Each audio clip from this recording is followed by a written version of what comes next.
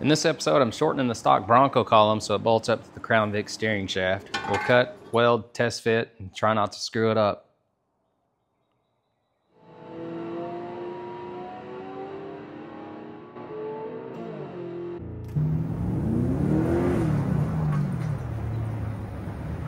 So a couple things. If you have a civilian Crown Vic, you're gonna have some security stuff. This is actually the security ring off. It used to be right here. And if the key's not in this ring, the ECU won't fire unless you get that tuned out of it. If you have a cop car or a taxi, any of those, you don't have this issue. If that key's not in there, it won't even fire. If you're dealing with a non-cop car and you've cut your car apart and you can't get it to stop, that's always the first thing I check after the inertia switch. And what I'm gonna do is just zip tie that thing in there, tuck it up under the dash, and just let it live its best life.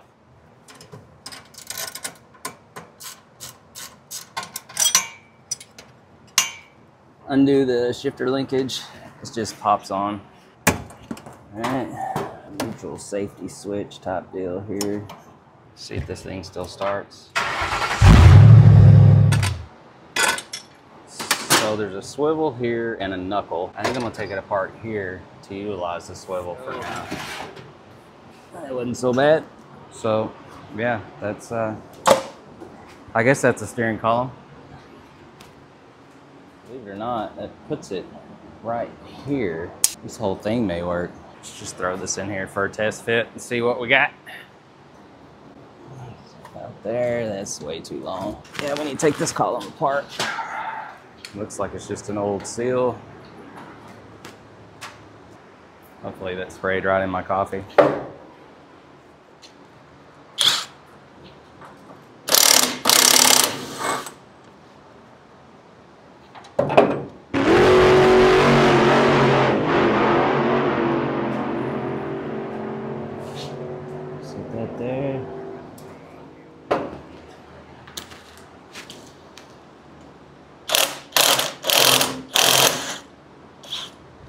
About that? It worked.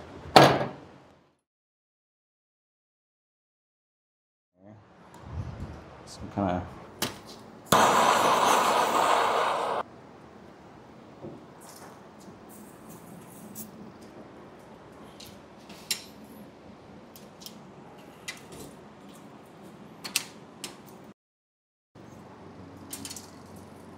I guess.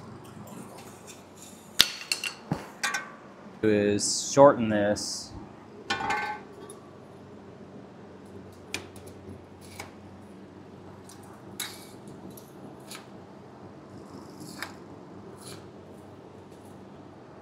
I have to cut this the race of that bearing off. It just separated, so.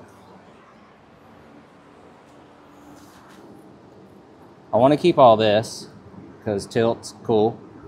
This part I definitely have to keep and this part. So the only way I think this is gonna work is if we got a couple things in play here. This I wanna keep as whole. This is not as important. Uh, what it's going into on the Crown Vic is a D-shaped thing with a bolt. So I'm not, I don't have to be concerned about the splines. Now, I do have to shorten this about four inches. So I want to keep the shifter linkage and I want to keep all this. I'm to have to shorten this tube in the middle, weld it back together, shorten this in the middle, weld it back together, put all this back together. This will be way longer than this. Cut that off and then hand machine this so it fits in the Crown Vic. Mill this part so the bolt holds it in place. I don't even know how this goes in there. So I need a 15 inch steering column with the shifter abilities and enough slack on this shaft to get into the Crown Vic stuff without rubbing on where it shifts.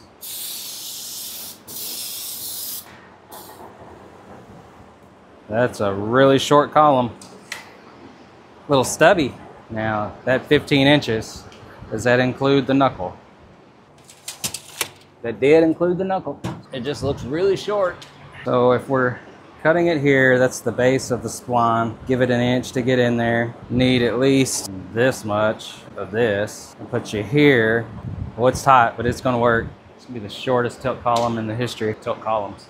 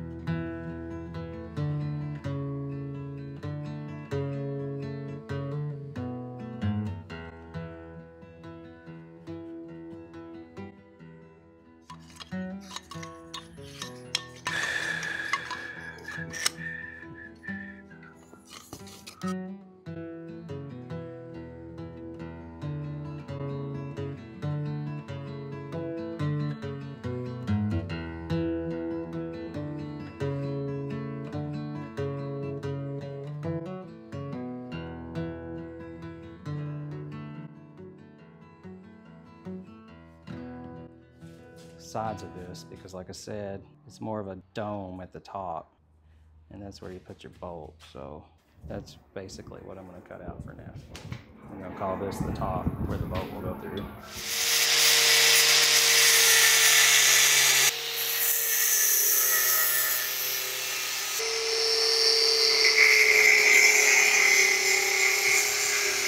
Can I give you an idea of what's going on here? Try to.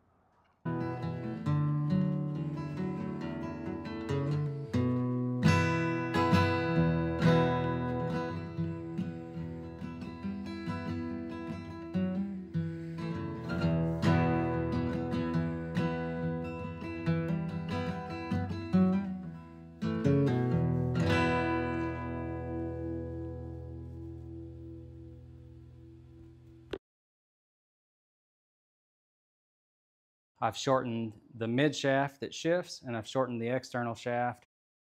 Hand ground the Bronco uh, steering shaft down to the D shape that takes into the Crown Vic deal. I've ground a slot for the bolt to hold everything in there. It does tighten up, it feels tight. Uh, I'm gonna do the sub-assembly, get the shorty stubby shaft assembled, and then we'll bolt it in. If you've ever built a steering column or hacked one like this, drop a comment. I'd really like to see how you did it. Been on one today, fellas and girls. Well, let's get this thing tacked in at least. All the things that don't need to catch on fire. One final check here.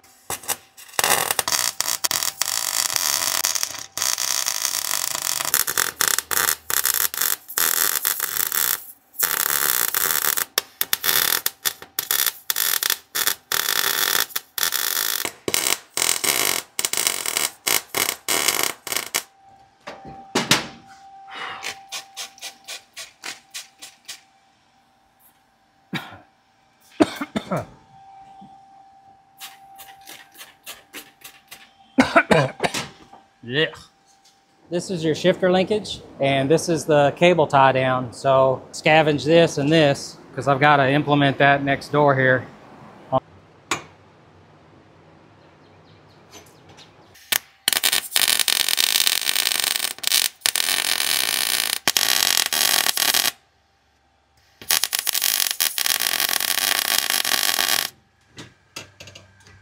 Ah, that's not gonna work.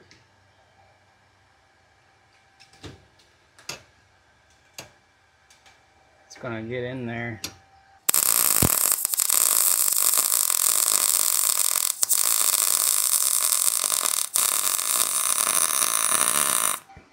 All right, sorry I didn't film that. I feel like we're to a point in our relationship where I can cut that off and just weld it together backwards and work full. So that's what I did.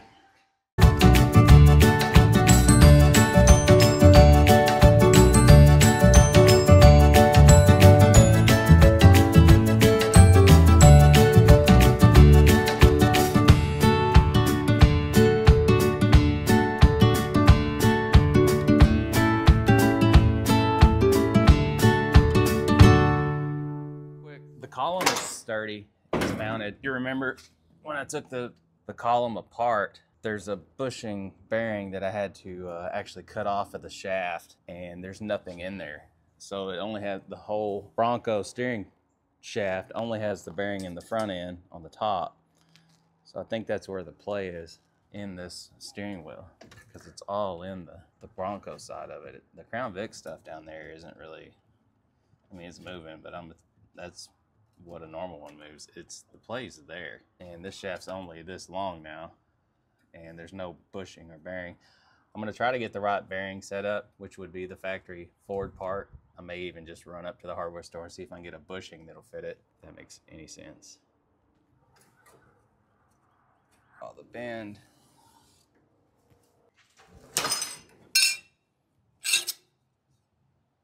Should drill the hole first, but whatever.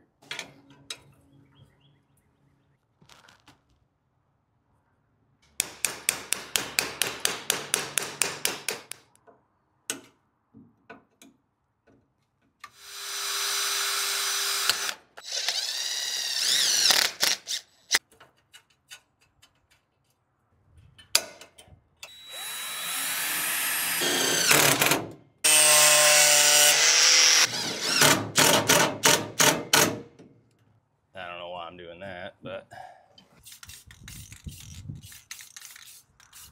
should all drop flat or matte, flat, power from the Crown Vic harness, and then I just ran a ground. Uh, I haven't bolted ground up yet, but we'll just put it there. The car is charging, so that's good.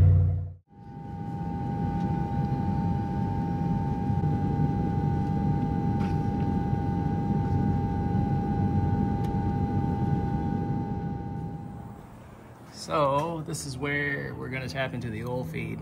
Um, For the oil sending unit, I want to keep it also because I'm not sure if uh, I know some of these have a shutdown if they lose oil pressure. They'll drop cylinders and run like crap to get you home, kind of a limp mode.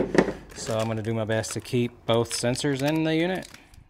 Quarter by quarter hex nipple and then a quarter T.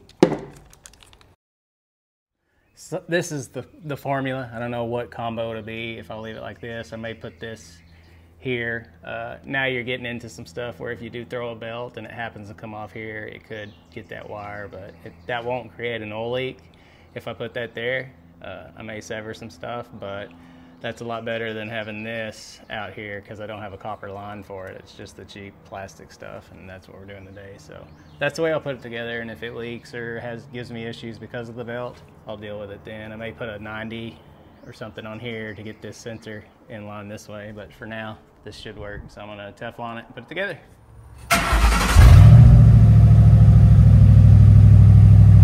Under this freeze plug is a Allen head, this doodad. And I pulled it out and I'm gonna put the temp sensor in there. Um, I think that would actually be better because that's gonna give me block heat. Uh, if I'm not mistaken, that would be pre-thermostat even. So it's a true temp reading.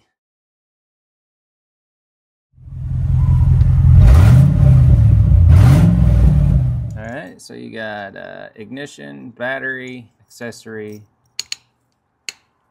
Pretty straightforward. So what I'm gonna do is get my little handy volt meter, and this is the factory Crown Vic ignition switch. I'm gonna put that meter on this in every position of the switch, and that'll tell me which wires are hot all the time, which wires are hot when the key's on accessory. I can figure out which ones are hot on just the on position, and then I can figure out the start circuit.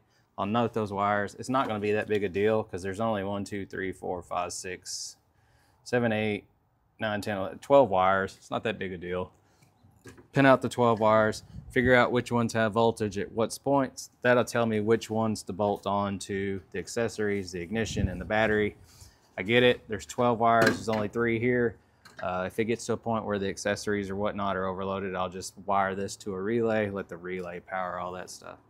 I don't think it's going to be that bad though, because at the end of the day, it's an ignition switch. So let's get it.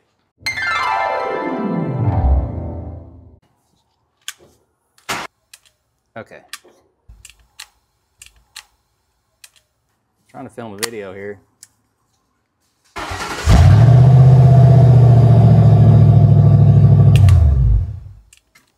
All right, so we know everything works.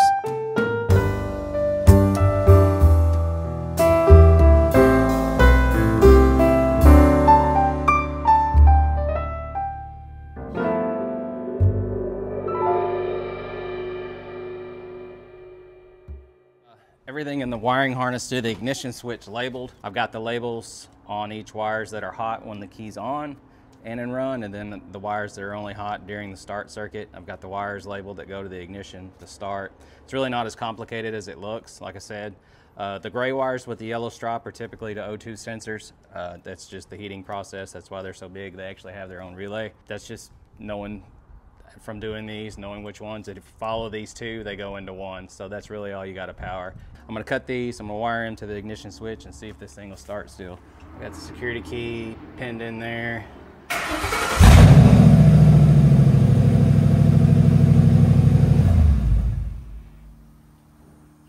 Absolutely nothing wrong with that. Let's go.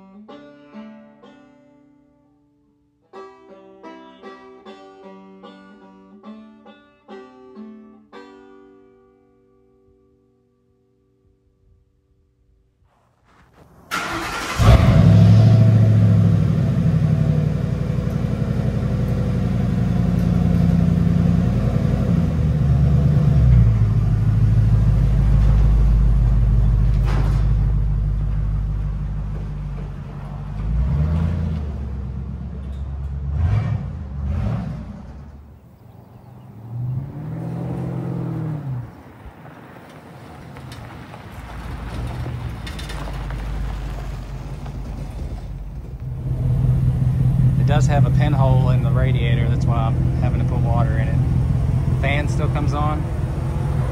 Here, running now.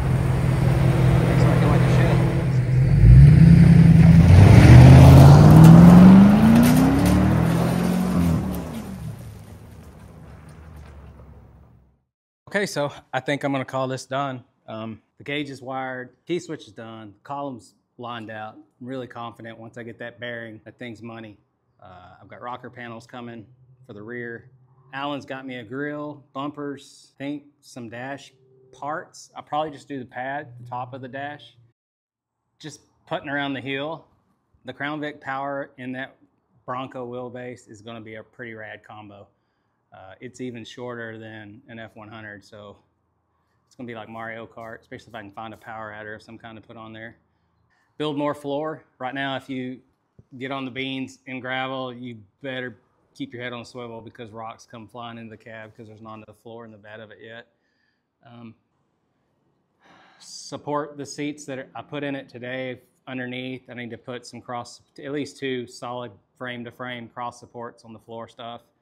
Uh, just a bunch of ants, and uh, I'm probably not going to film all of it. I may do like a, a revisit once it's done, but I don't know. We're just going to try it. I'm going to have fun with it. Sold the black truck, sold the 69, so we've got money to kind of spend on these things for a good year of filming. So hopefully, by the time that year's over with, maybe this thing will be making some money enough where we can it can actually fund the builds. Probably to sell the Bronco. Probably to sell the wagon. Um, they're not in a state where I'd sell either one of them right now, probably. But uh, yeah, if it's something you're interested in, hit me up. Um, the phone number's in my bio. I don't care if you have my phone number. Call me, text me, whatever. Um, yeah, that's it. Thanks for watching. I'm gonna clean up the shop, go inside. It's hot, but super excited about it. Thanks.